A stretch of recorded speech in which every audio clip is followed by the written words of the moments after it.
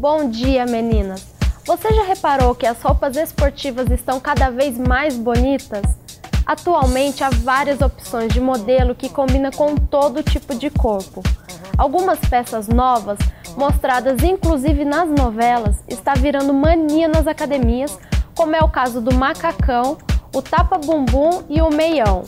O macacão molda o corpo e tem a vantagem de ser uma peça única. Há modelos lisos estampados, aberto e todo fechado. O tapa-bumbum substitui a camisa ou moletom amarrado na cintura, além de evitar aquele visual meio largado e serve para disfarçar o quadril, esconder o cofrinho e o bumbum quando a calça é de uma cor que marca a celulite ou a calcinha. O meião branco, com aspecto sanfonado, lembra as polainas, que fizeram sucesso nos anos 80 próprio para malhar, protege a pele do suor e na hora de usar os aparelhos.